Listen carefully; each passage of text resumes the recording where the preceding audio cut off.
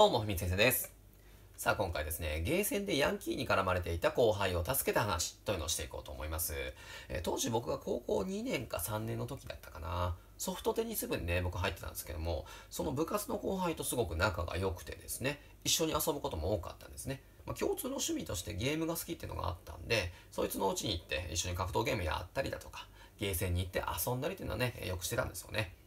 で、その日はね、えー先に、えーその後輩がゲーセンに行って遊んでたのかな。で、僕が遅れてやってきたんですけど、そのゲーセンに着くや否やですよ。その後輩が、ヤンキーグループに絡まれてですね、うわっと思って。まあ、当時まだね、そういう時代だったんですよ。あの、ゲーセンにヤンキーがばっこしているっていうね。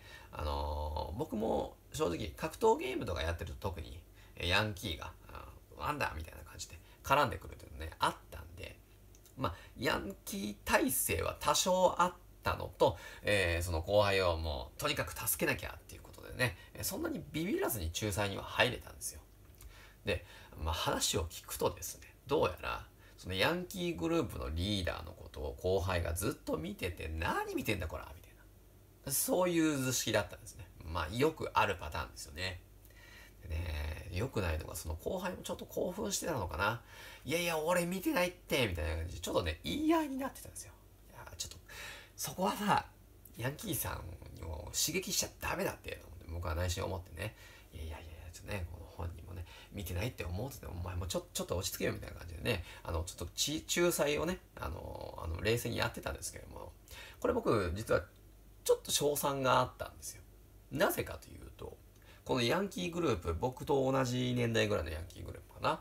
で、の一人に、僕の知った顔がいたんですよね。小中学校のその同級生の K 君っていうね。まあ同じクラスになったことはあるんだけれども、まあ友達というほど仲良くないっていうね。まあそのぐらいの距離感ですね。うん。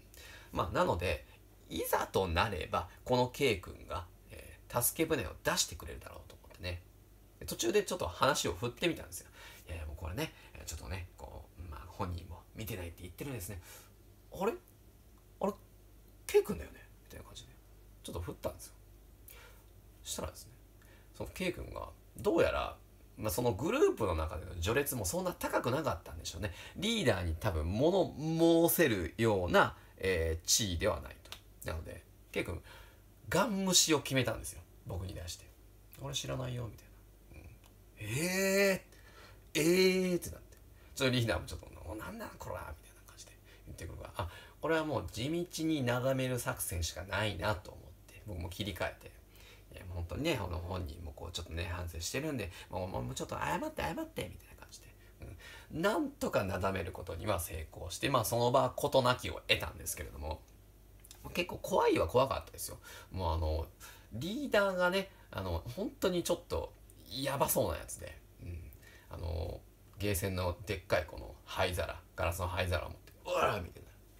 こういうのも、こういうシーンもあったんで、これはちょっともう、もう、もう低姿勢、低姿勢で行って、なだめるしかないなと思って。